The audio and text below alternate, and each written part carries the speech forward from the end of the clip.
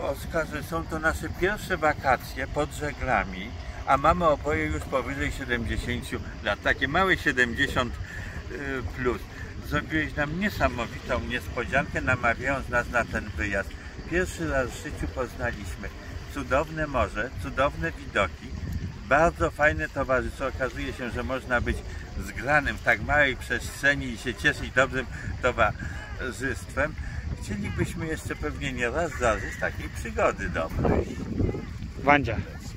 popieram wszystko. To jest y, przygoda życia. Y, no nieprawdopodobne widoki, nieprawdopodobna przygoda, nawet przy dużych falach i dużym przechyle było fajnie. No trzeba sobie się wzmocnić może szklaneczką whisky, ale jest ok.